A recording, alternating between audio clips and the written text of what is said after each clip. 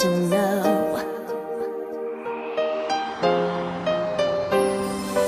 Oh pretty baby, I shouldn't have let you go.